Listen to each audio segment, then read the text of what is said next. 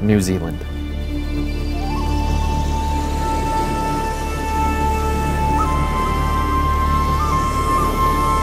A place of majesty and wonder.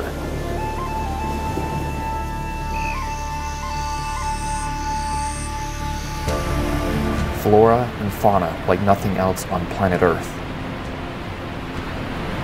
I came as a traveler, an outsider. But I fell in love with this people and this land. A culture that has fought to maintain their way of living, practices performed by the ancient Maori kings and iwis. This land is home to tribes of the North and South Islands, they call Aotearoa, land of the long white cloud. One can even hear the winds across the plains. It's wild like the rivers. It is free.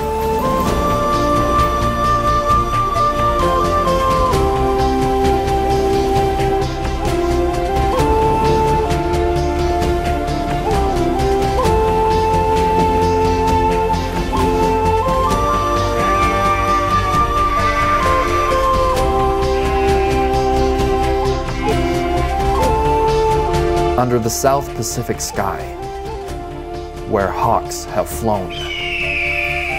This place is paradise.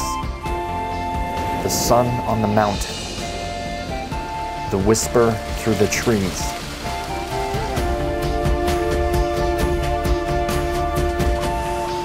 I don't want a single thing to come between this and me.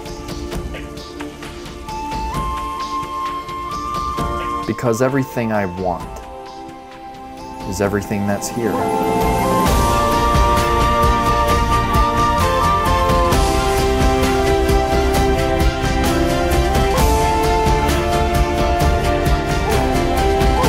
Came as a traveler, an outsider. But wherever I wander, there's one thing I've learned. It's to hear with these people, this land, I will always, always return.